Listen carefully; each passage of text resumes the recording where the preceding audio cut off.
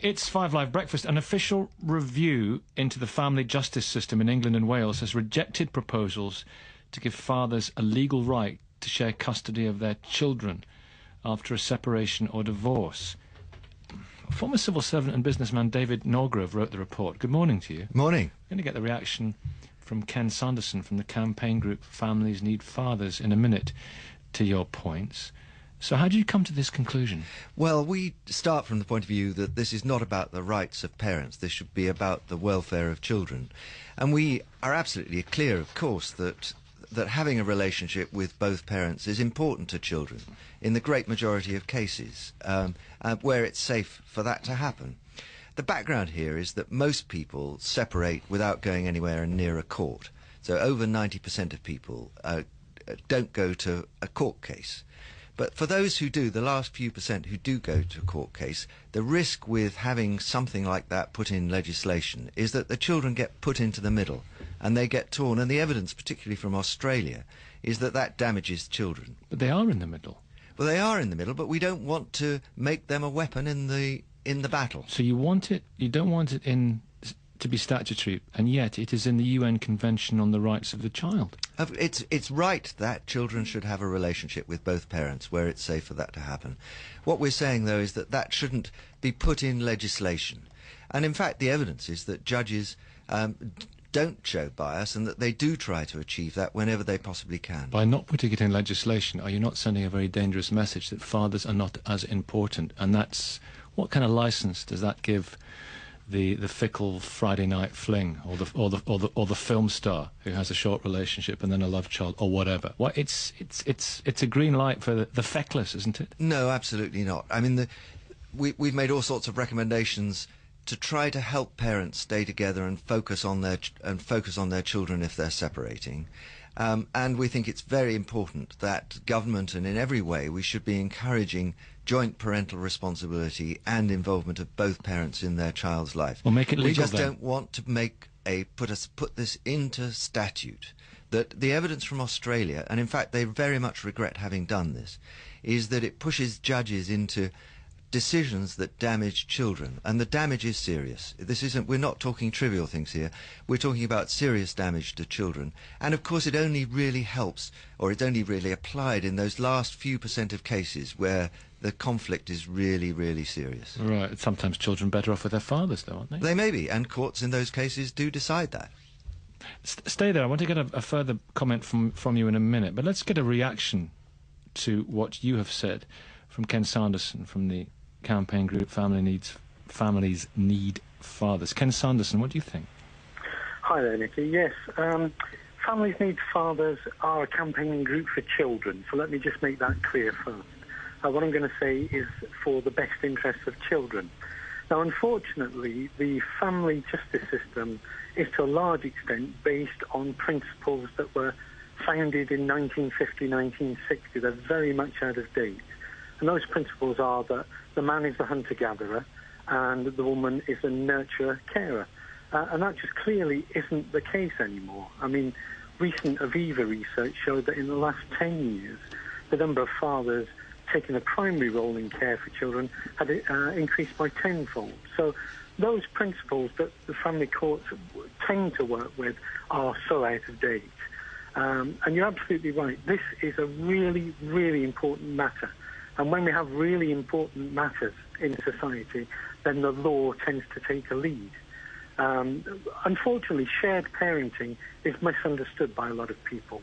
We're not campaigning so that little Johnny or little Gemma spends 50% of her time with dad and 50% of her time with mum.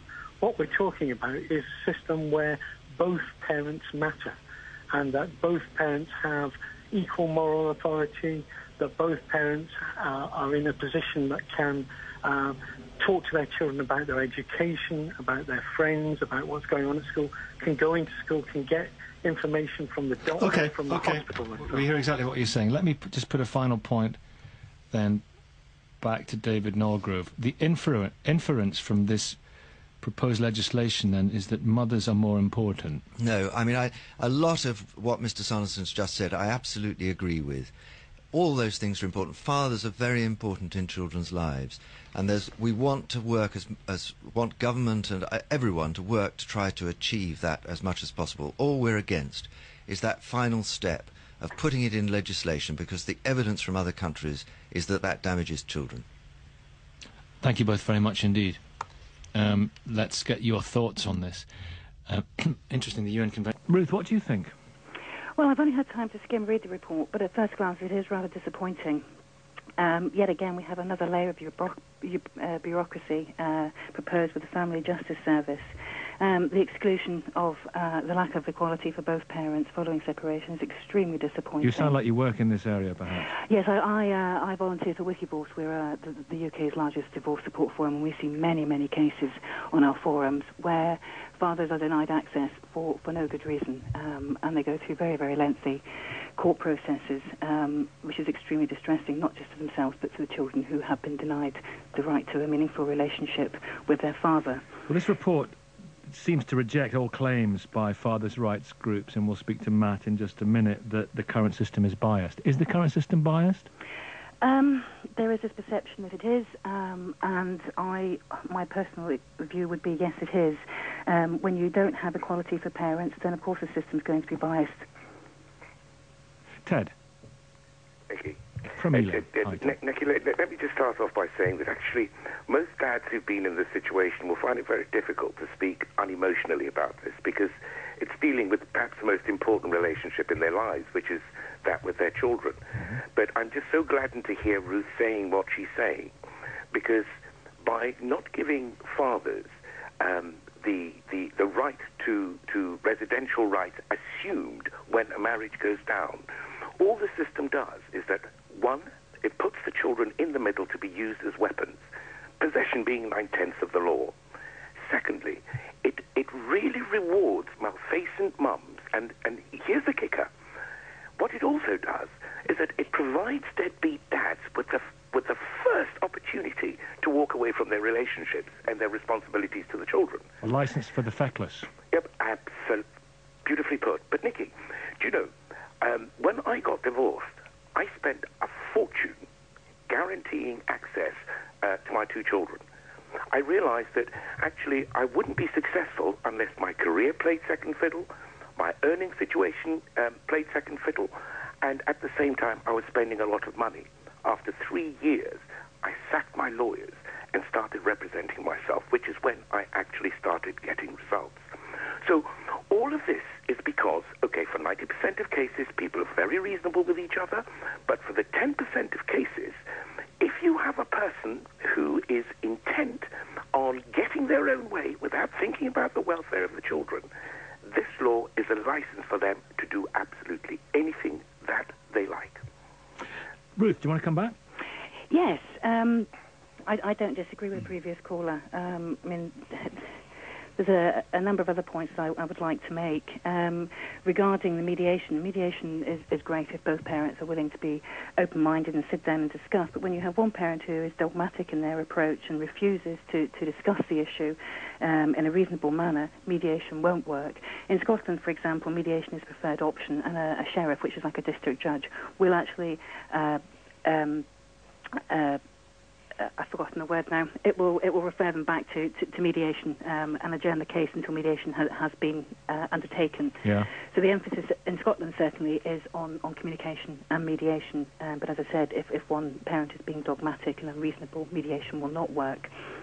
Um, the other point that I would like to make is is the so-called secret family courts. Um, there is no uh, moves there to open up the family courts in Scotland, for example, there are no secret family courts. Family court hearings are heard in public, and there is media reporting, um, which does open up the system. Matt, Matt O'Connor, um, what about Mr. Norgrove's point that enshrining such rights in law would slow down the process and make it make them unnecessarily expensive? We've already heard from Ted there about the the cost and stress and hassle of the lawyers involved. Um, Nicky, I'm, I'm, I, am uh, almost lost for words. Um, I've been doing this for 10 years of my life. I've got uh, three young boys who I am uh, blessed with, and do see, and I'm very fortunate. I, I'm just, I just can't begin to describe how heartbroken everybody at Fathers for Justice is. Um, this morning, I've just bumped into David Norgrove uh, coming out of the studio, had a pleasant chat, and I just can't begin to fathom out how. Well, what, did you say to him? What did he say to you? I'm sure, Oh, it, well, went, I'm, sure it went, I'm sure it went beyond good morning, how are you, mate? Well, I, I was, we always, contrary to popular belief, we do always try and be Yeah. quite polite. I'm and sure, yeah, yeah. I am house trained, you know, uh, uh, um, so I'm. I'm not too bad. But the first thing I said to him, to be honest with you, Nicky, was at the heart of this whole issue is a lie. And the lie is this we act in the child's best interests. And I said to him, I said, David, where is the evidence to support that claim? Because you claim you act in the child's best interest. The courts claim they act in the child's best interest. The judges claim they act in the child's best interest. And he said, we have no evidence. And I said to him, I know you've got no evidence because nobody in family law, in the government or anybody, has bothered to keep any records on the outcomes for children. And outcomes we can see in our country, we saw this summer with the riots, we see it with the highest rate of young offending in Western Europe. We can all see around us, we all know people touched by family breakdown who have lost contact with their children or their grandchildren. And to write a report without evidence is a disgrace. I cannot begin to tell you how upset and disappointed we are about this whole report. Um, let, we're going to talk to um, somebody who is on the line now. I've just lost my Karen Woodall. Sorry, Karen. Um, Hi. Hi there, Karen. Um, director of the charity Centre for Separated Families. That's right. What do you think about this? Um, I think it's a missed opportunity. I think David Norgrove has made a big mistake. Um, I wouldn't go so far as to say that we are supporters of the presumption of shared care as it's been set out in arguments over recent years, but I think that it's absolutely essential that this country is given a message about the importance of fathers in their children's lives, and I think that the report itself is a real missed opportunity. Well, it's not necessarily going to be, you know, put on the statute books, and we read that there are some people within the cabinet who are very, very worried about it. Mm. But uh, shared access and equality of access and equality of care are two different things, aren't they? Slightly. Well, we would prefer to talk about relationships with children. We don't use the word access. Access is a real problem. Um, people who have good, strong relationships with their children before they separate are sometimes, and well, quite often reduced to the status of an access parent, which is just problematic right from the start. Parents who uh, live together, they bring up their children together, their mum and dad, they interact with different roles. On separation, currently in this country, they are divided very, very starkly into a good parent and a distant bad parent. And I think that the word access is a real problem. I think that the uh, difference between children having relationships with um, parents after separation, which are supported by um, government legislation, which is supported by the right kinds of services, and the situation that we've got now is very, very problematic. A lot of the services that we deliver, a lot of the messages that government give, actually divide parents further and actually act to put fathers at distance from their children, which I think, as your previous um, uh, caller has been explaining, um, is probably uh, leading to scenes uh, like the riots that we, excuse me, that we had in the summer. Nicky, can I just, uh, if- I may just say, um, I'm a black male, okay, and the specific impact of the way the law is right now actually obstructs black fathers who want to stay in touch and parent their children. It's interesting what she, uh, what was said just now about the language.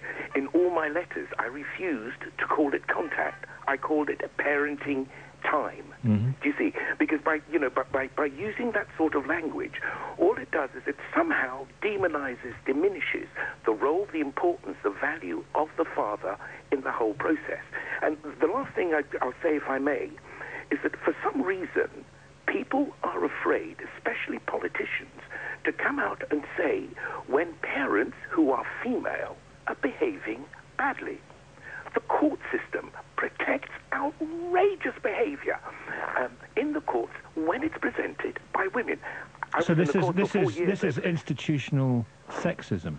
What a wonderful way to put it. Do you see? So, so, so these are some of the difficulties, and it is such a pity. The man who wrote this report has not got a clue what he's talking about. He doesn't know the kind of misery he has consigned lots of children yet to be members of broken families to endure. But if you put his argument is if you make it statutory, that will lead to more court cases. That will lead to longer. But Nicky, Nicky, that simply simply is not borne out by the case. The fact is, the court system at this moment in time is in utter meltdown. They're cutting legal aid. So that's going to affect fathers. We have children, 200 kids a day, who lose contact with their parents. We have an unelected, unaccountable, unsackable judiciary operating in a kind of secrecy that would make regimes in Iran or North Korea blush. Steady. This is, this is, Nicky, can I Nicky, go in and have a look. Yeah, I'm, I'm, well, I, I'm telling you, it is a catastrophe. It's a disgrace that our children are put into this system, that families are put into the system. Courts are there for criminals, Nicky. They're not there for parents. It's completely the wrong environment. It's a minority that end up in the courts rubbish, anyway, isn't it? Isn't it? absolutely rubbish. The, the figure that David Norgrove quotes, is 10% uh, figure, is a complete myth. It was taken from a tiny sample uh, done about five years ago from uh, a government department. You know, and I know, that one in three children in this country is growing up without a father. You know, and I know, know people who have got access difficulties seeing their children. This is not some kind of minority problem. We're talking about tens of thousands of children going into a secretive Well, and abusive system. Karen, from, from what we're getting on our calls and texts, I've got to say it's one hand clapping here. And so, you know, it, the likelihood is this kite is being flown and it will very quickly be pulled down and changed because we hear, I'm reading here that Iain Duncan Smith's not happy with this, other people in the cabinet are not happy with this. And uh, this, this Prime Minister's going to put his finger up to the wind and see which way it's blowing, isn't he, on this? I If- hope he does. I hope If, he if, if the reaction we're getting is, is representative, absolutely. I hope he recognises that the message that he gave to fathers on Father's Day this year hear. was actually a very big mistake. I think that well, well, remind us. uh, he he basically said that um, fathers who were separated should be treated as drink drivers, that it should not be acceptable, and the message that he was giving there was based upon an absolute stereotype, a stereotype that has been bandied about this country for the past 30, 40 years. That fathers who are separated are always the parents who cause the breakup or are always the parents who run away. If you work with family separation day in, day out, as I do, and I have done over the past 25 years, you recognise that mothers as well as fathers end relationships. Mothers as well as fathers what, what, behave what, very, were his very exact, what were his exact words? In terms of uh, uh, his message, Yeah. He said that, that um, absent fathers should be treated as drink drivers, that runaway dads should be Hmm. Well, stigmatised. that's not quite the same as what you said, which was separated dads. You know, so let's let. I Well, mean, hang on, Nicky. yeah. There is an important point here, and I, I and I can speak for. Um, I, I actually spent eight days uh, on a fast. Some people say it was a much-needed diet, uh, but I spent eight days outside David Cameron's house in the middle of summer after he made those reports. Because what he's doing and what he did in his comments about Father's Day was actually to say quite appalling things. It's, it's, it's incomprehensible that on Mother's Day he would describe single mothers denying fathers access to their children as But he said absent. and Will, runaways. willful, he's ta- he was talking, was he not, That- no. about willfully absent fathers. I've got the quote here. Let's see what he said. Okay. It's high time runaway dads. You're not a runaway dad, are But you? Ken, but let me just Ted, you're not a runaway. Let me read the rest of the quote. Were stigmatised, and the full force of shame was heaped upon them. They should be looked at like drink drivers, people who are beyond the pale. They need And- a message around home to them that every part of our, from every part of our culture, that what they're doing is wrong. That leaving single mothers who do a heroic job against all the odds to fend for themselves simply isn't acceptable. And- And He's not therein is the even- problem, Well, Nicky. he's not talking he about- is talking about stereotypes.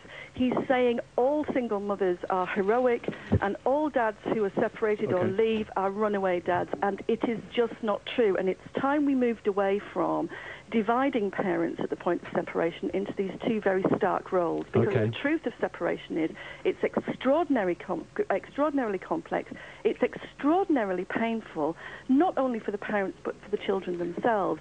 Children often find themselves whisked away from one parent, mostly the father, and from that point on, their relationship with their father becomes more and more fragile. All right. And Nicky, Matt, what's st- Matt, stay there. We've got to take the travel news. I'll come. I'll come Okay. right back to you. Thanks very much. Excellent uh, points from Ruth and Ted and Chris. But all the points coming one way. I feel my. I feel myself having to put the, the other side of it this morning slightly because no one else seems to be doing it. But if you want to redress what you think is an imbalance, where we we really do honestly try and reflect what we receive in terms of text and phone calls. That's what we're doing thus far. 0500 909 693. And Joy's in Derbyshire. Hello, Joy. Hello. Good morning. Marilyn is in Stowe. Good morning, Marilyn. Robertson Good morning. Coventry. I'm in Leeds, actually. Oh, I do beg your pardon. Adrian's in Witney. Marilyn, on you go. Lead. Oh, uh, I s- a family lawyer. I've got on my screen. Yeah, family excellent. lawyer. Excellent. Um, what do you think about this report? I think it lacks flair and it lacks vision. I, I, I agree with all the admin changes that they're proposing. I agree that the system is creaking. But I would have looked at the operation of the Children Act, which has been in force now for 20 odd years, Yeah. and looked at the deficiencies. And I think that the main problem I have it, with it is the lack of acknowledgement of the needs of other people in family breakdown, quite apart from the children, particularly parents, parents who aren't living with their children, and also grandparents. And I think that's a great shame. hmm Joy, Yes. Hi. jo- join us. I'm um I got divorced 12 years ago and me and my ex-husband decided it was better for my three sons to live with him rather than me because we felt that my sons needed a male input into their lives. They were 11, 9 and 7 at the time. That's interesting. Hmm. So um, if, I, if they'd come in with me, it was my decision to leave, although it, the breakdown was not necessarily my fault. The atmosphere was untenable. Um, I would have had to give up work, go into social housing, live on benefits, because I didn't want my children to become latchkey kids. That's and that's an old-fashioned term, but that's what I didn't want. We know exactly what you mean by it, though. Yes. Yeah. Whereas my father-in-law lived, lived with us, so um, there was somebody going to be at home for them when they came home from school. Why should my children have had to give up their family home, their friends, their school, just because we, me and their father didn't get on anymore? It didn't seem fair to And how, them. how has it how has it panned out over the years? It has turned out very well. My my three boys are now two of them at university and one's a teacher. They are very well adjusted. They're in relationships. It hasn't spoilt their view of relationships at all. We're both remarried. Stepmom and stepdad get on very well with the children, and it's worked out very well indeed. Marilyn, if only it were more civilised, uh, uh, Well, more I- often more civ- as civilised as that. I think that most cases, uh, remember, of private disputes between parents over children do resolve out of court. Most of them, the vast majority of them do. But it's when they get to court and it's these intractable, prolonged disputes that, that obviously you hear about, you've got to think what are the principles that govern it? And um, we are so heavily centred on children. And of course, the welfare of the child is paramount, and I absolutely agree. But what about the needs of both parents? And I don't think that our law sufficiently looks at that. I have to agree with Marilyn because my current husband, that's current husband, that sounds a bit. the current. As a Terry Wogan used to say, he said the current the current Mrs. Wogan, didn't he? That's say? right. Um, he has a teenage daughter from a previous relationship Right. who he has no input in whatsoever. We've been to solicitors and we've been told it's, he has no input. It's her, it's her decision all the time. Fathers don't have any rights to see their children. It's children's rights to see their parents. But if that other, the other parent is influencing that child, what can you do? You, Matt, you must have come across many situations far less civilised than the one we're hearing about there from Joy. Yeah, I mean, the thing is, the family justice system is predicated on conflict. And what we've been trying to do, Nicky, is fight for the peace. We think courts they're there for criminals, they're not there for parents, they're the wrong environment. And what you what happens, with no disrespect to uh, Marilyn, is that when the solicitors get involved, you know, they are predicated on conflict. You go into a system that because there are no fundamental rights for parents in this country to see their children, you have to prove to the court, prove to CAFCASS, which is the Court Welfare Service, that it's in your child's interest for them to see you. So you can be living at home, Nicky, one week with your children sitting there watching Doctor Who. The next week, if your relationship with your partner or your wife breaks down, you find yourself in this kind of quite Kafka-esque surreal world of secret family courts We can't speak to anybody about your case and you have no rights to see your children. And you're effectively cut off and you might be cut off for six months you might be cut off for a year you might be cut off for 20 years. You the children grow up without a father and the impact of that and i keep saying about this, it is catastrophic for our country. I see my children nikki. I have three boys. I do not want them to live in a country where they have no rights in law for them to see their children or their grandchildren. I think it's incredibly to the detriment and welfare of our society, and that's why I find the support utterly unacceptable because I think the current system, we're still talking about the current system as if somehow it's wonderful, it's working. It is abusive. It is secretive. It is damaging our children.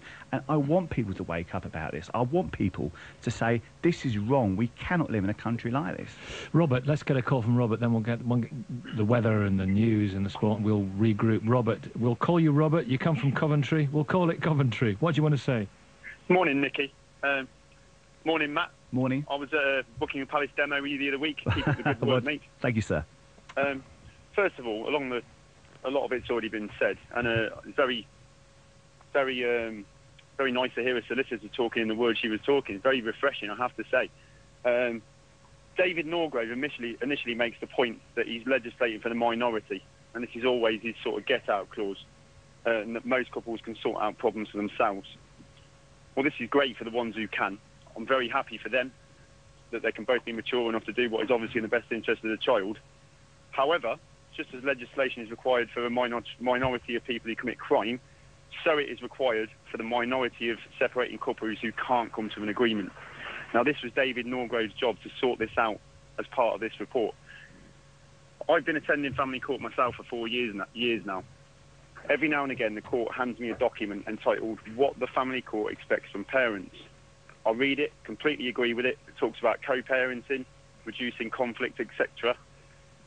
But the reality is that on the cold face of it, when you actually get into that environment, you find yourself polarised by solicitors, by organisations like CAFCASS, as Matt says, and the situation just goes rapidly downhill to a point where you cannot get out of it. Marilyn, Mar- Marilyn, then, you just come back- back here for a comment on this. We, Yeah, well, I think I think that's because in law everybody is focusing on the welfare of the child, Well, it's and everybody isn't forgetting what the needs of the parents are. And parents have needs, and incidentally, grandparents have needs. Yeah. And it's all I very well everyone's needs are producing. entwined. Pardon? I think everybody's needs are entwined, and they don't. they Yeah, don't and, and I don't think Yeah. sufficient recognition is paid to the needs of the people who are also caught up in family breakdown, namely parents and grandparents. And if you gave integrity to those people, then at least you've equalised the playing field and you've got a chance of making progress. But if you've got a very heavily child-centred review body producing a report headed by an accountant, yes, they've made management recommendations and uh, fair enough, but what do you expect? Okay, Marilyn, listen, listen, Can listen. That, there is that, All right, that, I- that I'll particular point. No, no. I'm, I'm so, Joy, was it? Yeah. Yes. Was it? Oh, qu- quickly then, Joy. Sorry. I just You, think society doesn't help. Because I was an absent mum in a lot of people's eyes, I got stigmatised, even though, you know, I was still seeing my children on a regular basis. The fact they didn't live with me, I was made out to be the wicked witch of the West, even though it was a mutual and amicable agreement. Everyone assumes that when a, a relationship breaks down, the child goes with the mother. that, yes. Well, that that assumption is part of this, isn't it? Uh, those uh, those the default positions which we come to. Listen, thank you very much, Joy and Marilyn. Wendy and Smethwick. Wendy, what do you want to say this morning? Do dads need more rights? Yeah, I'm disappointed that they didn't change the law to, to give men equal rights to women. And I think it's because the law doesn't trust men to be responsible carers. Mm-hmm. Uh, we've uh, undergone a lot of cultural changes over the past 30 years. I remember in the 60s when a lady, you know, had a child on her own, it would be taken away from her. And now we've got a complete about face. Now women can get the benefits, they can earn their own money. They don't really need men in the picture anymore, and we don't judge them morally anymore. So, and I think because uh, women carried babies and they fed them, they're seen as having more emotional rights and more physical rights over that child. So um, it, it's just too easy to say, yeah, men are not as caring as women. I think it was a lazy political decision not to change the law because it's going to involve a lot of trial and error to get it right. And if they make errors, they're going to expose themselves to a lot of criticism in the press. But really, you can't make an omelette without breaking eggs. And, you know, it's a sure that they, it's a shame they can't trust men. Mm. David Emerson, family lawyer and, and mediator. David, what do you think? Good morning. Good morning. Um, well, I think that the vast majority of couples that separate tend to work these things out for themselves. If they can't work them out for themselves, they tend to go and see a mediator or a resolution lawyer. And the vast majority of times, things are negotiated very effectively. And the ones that are negotiated effectively often tend to involve a significant amount of shared caring. Well, this is what David Norgrove is saying. Well, he, well, he's right, and I think uh, as my understanding is is that it was a very fine balance in deciding uh, in the report not to go with this because of the research that they found in Australia, where where forcing shared care didn't actually produce the best results for the children, and the, the fundamental principle in uh, English and Welsh law is is it's the welfare of the child that's the, that's the main consideration is the child's rights that are most important, and it's not really a question of the mother's rights and the father's rights. It's almost more than that, though, isn't it? I mean, it's more than just the statutory. It's it's it's the it's the it's there seems to be a lack of an acknowledgement that there are equal roles. That's the obvious inference that people are taking from this, and that's the headline this morning. And it's very these are very bad political headlines.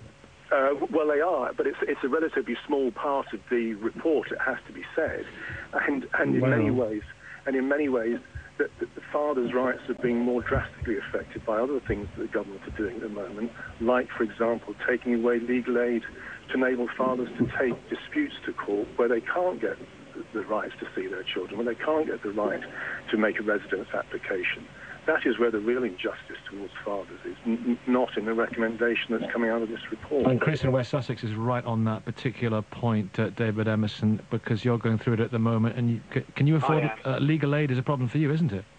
Uh, a- a- absolutely, Nicky. Yes. Good morning to you all. Morning. Um, morning. Uh, my, my my situation is is uh, I think a, what I would regard as a, a, a very difficult and uh, deeply unpleasant one. Um, I, I separated uh, from my wife uh, at the, towards the end of January. Uh, the morning of the day of this separation, I'd made breakfast for my children. We were sitting around very happily, uh, enjoying breakfast. Um, had an argument with my wife the next day, uh, th- that evening. The next day, I had to leave early to go to an exhibition for a few days. While I was away, she phoned me saying um, not to come back until the week, uh, until the weekend, to stay away for a few days. Um, and when I went back on the weekend, she said she wanted a divorce. Since then, um, I've been trying to reconcile with her. That didn't work. Eventually, in April, I decided I had to try and establish contact with my children, and the only way I could do that was by making uh, an application for contact. I employed a solicitor. I started paying for that solicitor. When I realized that my wife had become so entrenched in refusing me to uh, see my children, um, it was costing me more and more money, and I had to decide, well, no, that's it. I can't afford it any longer. I've got to, uh, I've got to do this on my own. How old were the, are the children? Nine and four. A daughter of nine and a son of four, uh, Nicky. Um, so they're, they're, they're both quite quite young. We've had a, um, a CAFCASS report which has now been uh, submitted. Um, I'm actually going to the hearing on the 14th of November, but the system is such that um, it does favour the mother um, from the point of view that um, if she makes allegations that are uh, that you as the father would say those are false, they're completely untrue. There is a duty on the part of the family courts that they must investigate anyway those allegations, irrespective of whether they are true or not. That delays the whole process, thereby giving the mother more time to um, in further uh, become entrenched in her position, and it also actually means that uh, there's less, that there's uh, there's a longer period of time that the children do not have access to their father. David Uh, Emerson. and vice uh, yeah, David Emerson. uh, Listening to those those points there, is the system biased against men? Um, well, listening to that case, you, you would certainly think so. I think the great difficulty is going back to this idea that, that, that it's, the, it's the children that need to be protected first. And once, once serious allegations are made against a child, these do have to be investigated. Against a child. Uh, yeah. Or, or, or, or, or, or against the, the, the, Against the, the father, I think you mean. Yeah, yeah, yeah. And, and you know, these, these have to be investigated. The only way you can do that is, is, is test them by giving evidence in the court and a judge making a decision. And, you know, the delay that, that this causes is absolutely uh, you know, unacceptable. Nicky, can I can I interject just interject as Matt from Fathers to Justice? The, the, the problem is, Nicky, is the system incentivises the use of false allegations to qualify for legal aid. All a mother needs, all a mother needs to do is to tick the fact has there been any abuse. And that can be financial abuse, emotional abuse such as shouting, uh, physical abuse, and that incentivizes people to make false allegations. And what it's like, it's almost like a Salem-like witch hunt. But instead of ducking witches into rivers and seeing if they drown, if they drown, they're innocent, and if they live, they're guilty, it's the same with fathers. Every obstacle is put in front of you. We talk about David Cameron, talking about deadbeat fathers and runaway dads should be treated like drink drivers. What about the tens of thousands of good, loving fathers, first-rate fathers treated like second-class parents in, in this country? And the court system, by putting these obstacles in front of us, makes it incredibly difficult for fathers to get to see their children. And, and to say there's no bias in the system is incredible. How can you say there's no bias David- when 97% David Emerson. of, of, of with 97%, 97% of residencies go to mothers? David Emerson. Um, well, I think the vast majority of residences go, go, go to mothers uh, simply because, in, in practical terms, that, that's the way it's always been in terms of the day-to-day arrangement But within that's that wrong, family. surely. Um, well, in the vast majority of cases, fathers would make as good a parents as, as the mothers. Um, That's ab- absolutely true. And, uh, uh, Nicky, sorry, it's Chris here again. Chris, yeah. Uh, my, my relationship with my wife uh, prior to the separation was one where I would cook, I would do breakfast at the weekends. In fact, when we had the argument, I, w- I was ironing some clothes for, for, my, for my daughter for school for the week. I had a very involved relationship with my children. However, the system is such, um, as the gentleman from Fathers of, uh, for Justice has just said. Sorry, I didn't uh, catch catch his name. Matt. Um, Matt. Sorry, Matt. Right. Um, as, as he quite rightly said, all the mother has to do is tick a box saying either emotional violence, psychological violence, um, physical violence, whatever it might be, in order to get the legal aid. So immediately the father is uh, can only rely on his own funds to, to actually pay either for um, uh, for a solicitor, which many fathers cannot afford to do, and then what ultimately happens, as in my case, um, I'm acting as a litigant in person. I'm having to speak for myself in court. Listen, now, thank- this, this, this is fundamentally wrong. Fi- Okay, it's 9.51. Thank you so much. Warren in Swindon, thanks for hanging on, everybody, because uh, we've had some quite detailed points this morning and quite a lot of people have been hanging on the line. But Warren, what was your experience of, of uh, the court system? Morning, Nicky. Um, very tough. Um, God, I think I'm going to start crying, even just even considering what I've been through in the last two years. Um, well, I have my daughter every weekend since the relationship with her mother broke down. Um, she stopped contact for no reason. The week of my daughter's fifth birthday, and the same week my son was born. After we, uh, after I moved on with somebody else. Um, it's taken me 18 months to even get to see my daughter again, and I had to, because my barrister advised me, was to go to a contact centre. Um, the court took no consideration in regards to what contact was previously in place. I had my daughter every single weekend for over two years. Not only that, I even collected my ex-partner's other daughter from school every Wednesday and had her at my house dinner and then dropped her back home. So I had my daughter like three times a week, all weekend. Courts have not been interested in that whatsoever. They um, do not. They're not interested in hearing anything what the father's done in the past. All they're interested in is the mother. My solicitor asked uh, my daughter's mother why it broke down. She said we fell out. Since then, she's been to court and made accusations about me, and the court are not interested in listening to anything else apart from the mother's point of view. What, what she said? What accus- Sorry, what accusations has she made? How damaging? How upsetting? Um, once uh, about drug abuse, and I was told I would have to take a drug test. I said, "That's fine. I'm willing to take a drug test." She was ordered by the courts to pay for that. She failed to pay for it, and then the last time I went to court, she turned around and said um, I was abusive towards her, even though the courts were given police disclosure from both of us. There was only one case of any physical violence, and that was by her on me. But the courts have completely dismissed that. David Emerson, is it all too easy to make such accusations in this situation? it is easy to make the accusations, but I think uh, the difficult, and I say this very, very carefully indeed, that the, the, the, courts have a difficult problem in trying to understand what is a genuine problem that, that needs to be investigated and tested, because of course you've had phone-ins in the past all around the baby P case, where you know accusations were made there, they weren't properly investigated, and of course that ended in absolute tragedy.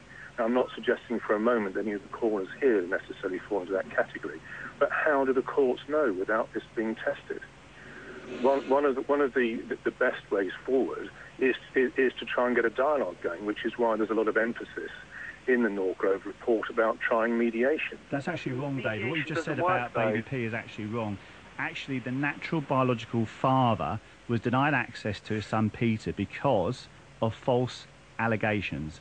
So there's a father who wants to be a loving, caring, responsible dad, look after his child, who had his son murdered at the hands of mum and her boyfriends. So that's actually wrong. That's a good example of a case where a father was denied access on the basis of no evidence whatsoever. And I think it's important, not just about dads who've had false allegations, what about the fathers we know, the high-profile fathers we know who've had contact problems? Look at David Blunkett, the former Home Secretary. You know, he had contact issues. What happened to Bob Geldof? He went to the family courts. He had contact issues. What about Alec Baldwin, the American actor? He has contact issues. These are not people who are abusive or dangerous. These are good, loving parents All right, John who are and struggling John, to see their children. John in Leicestershire, have you had contact issues? Oh, I've gone through hell, yeah. I mean, I'll try to be brief. The point I want to make is when I heard David, or, or the gentleman in your studio, defending the status quo, what he's just done is he's condemned thousands more fathers like me to go through the hell Yeah. that I've gone through. And I know from my own hellish experiences that what it is, it's about making money for solicitors. The whole situation is so adversarial.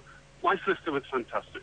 My ex-wife's solicitor, her first two solicitors were awful. It was all about making money. And all this nonsense about this is the, the, the best option. He said that if they were to have an assumption of shared residency or equal rights for parents, then it would put the child in the middle of a dispute. My child was in the middle of our dispute because of the law as it stands. I've known two men, at least two people, kill themselves because of this. The hell that they've gone through. They weren't able to cope with it. And that wasn't, wasn't because of the weak, it's because people simply don't understand how awful it is. And one more point I'd say is my ex-wife didn't enjoy this. I've, I've gone through everything that FBS said. I've been accused of being a drug, drug taker, a paedophile, beating my child. I now have a good What, by her? Oh, yeah, but, but it wasn't her, it's a system. Well, how can the system almost- accuse you of being a paedophile? well, no, no. What I mean is, it's almost like they have a rule book for mothers. You know, she, my, my ex-partner is, is a lovely person. She's friendly, compliant. She's a normal, middle-class, decent person. Where do they go away and learn about? Oh, say he's a drug dealer. It's all the same we hear in the States Well, where over and over the again. paedophile Where the law? to- Where you the law? you don't- if you're a normal, nice person, you don't accuse another human being of being a paedophile.